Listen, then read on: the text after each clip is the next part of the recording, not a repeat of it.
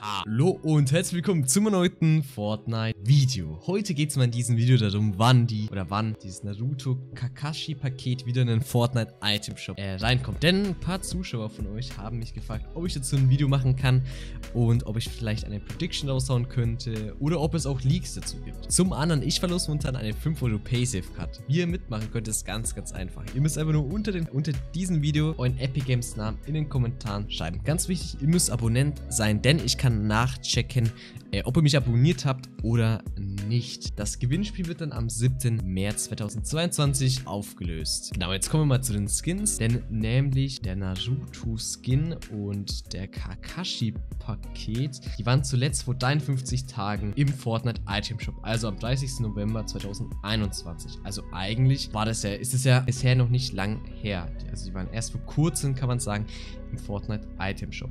Jetzt fragen sich natürlich viele, gäbe es eine Möglichkeit, dass sie wieder äh, reinkommen oder beziehungsweise ob sie demnächst wieder in den Fortnite Shop kommen könnten und das ist meine Antwort ja. Und ähm, es ist natürlich jetzt schwer eine Prediction rauszuhauen, ähm, aber ich nehme mal an, dass dieser Skin im, in so, so im Februar, Mitte Februar kommen könnte, denn es ist ein sehr, sehr beliebter Skin und viele aus der Fortnite-Community wollen, dass er wieder in den Fortnite-Item-Shop reinkommt. Deswegen ist meine Prediction 17. Februar, irgendwie sowas äh, um den D, also am 17. Februar 2022, dass dieser Skin wieder in den Fortnite-Item-Shop kommen könnte. Genau, also, wenn euch dieses Video gefallen hat, dann lasst doch gerne ein Abo und ein Like, der will mich sehr, sehr supporten und da würde ich sagen, Habt noch einen schönen Tag. Aus.